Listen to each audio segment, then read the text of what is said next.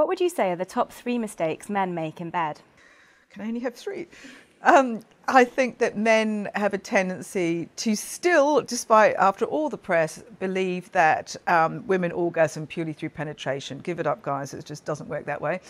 Um, I think men also have a tendency to think of sex as intercourse, and foreplay is something which they have to do to get to the good bit. And I think that more and more men, though, are realizing that in fact, you know, foreplay is actually extremely enjoyable for both because the longer you put something off, the more intense it tends to be. Um, third mistake, I think I think probably men try and rush women to orgasm. And again, all of this, I'm not actually having a go at men, is because our bodies are different. And for men, you know, most men can, you know, can orgasm within easily five minutes from first stimulation to ejaculation. Whereas women, you know, if you're not in the right mood, it can take up to, you know, 20 minutes of direct stimulation.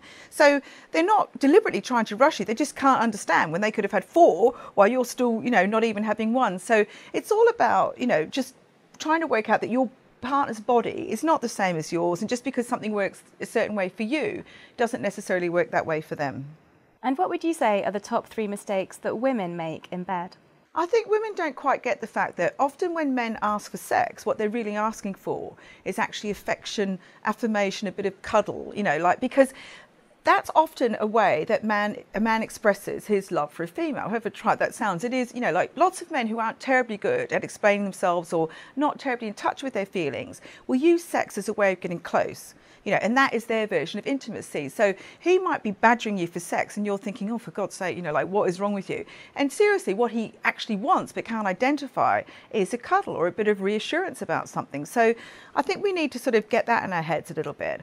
Um, I think also that women expect men to understand their body and you know, they our bodies are incredibly complicated. Women half the time can't figure out their own bodies, yet we expect him to be a mind reader without telling him. You've got to get past that sort of embarrassment of talking about, you know, what turns you on. Um, what would I think the third thing women do? Oh, they worry about their bodies too much. Have you ever heard a man say, Sorry, honey, I'm not feeling like sex tonight because I've got a bit of a beer gut?